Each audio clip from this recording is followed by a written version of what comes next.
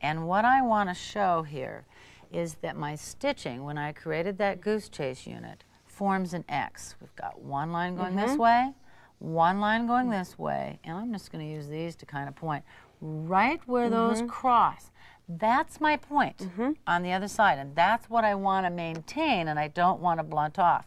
So when I stitch across this way mm -hmm. now to join this unit, I want my stitching to go right through the cross of that X, or on this case mm -hmm. where I'm mm-hmm. using a little bit heavier fabric, it's better off if I'm maybe just a little shy. Right. Floating, floating looks, floating is not as noticeable as blunting. Right, and you have to experiment with the weight of fabric that you're using. So I'm going to pick that up and I'm going to sew right through that X or just a little bit short of that.